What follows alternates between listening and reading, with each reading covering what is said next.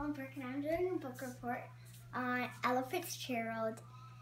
And let's get started. So, Ella Fitzgerald was born in a little town.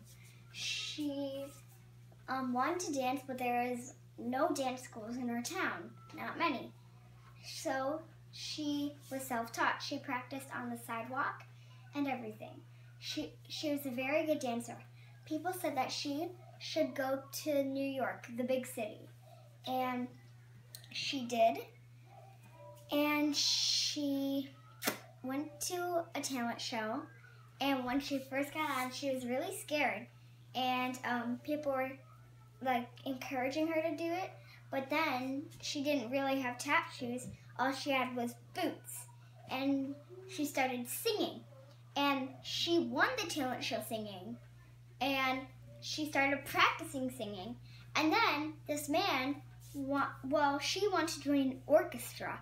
And um, the man said, Well, we need to test you. We're going to perform at Yale. We're going to perform at Yale, the college. And um, she did it. And the um, Yale kids were amazed by her singing. And she joined the orchestra.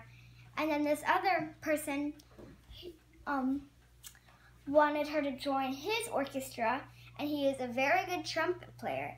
And um, Ella Fitzgerald lived her life singing, and she was always remembered that When did she die?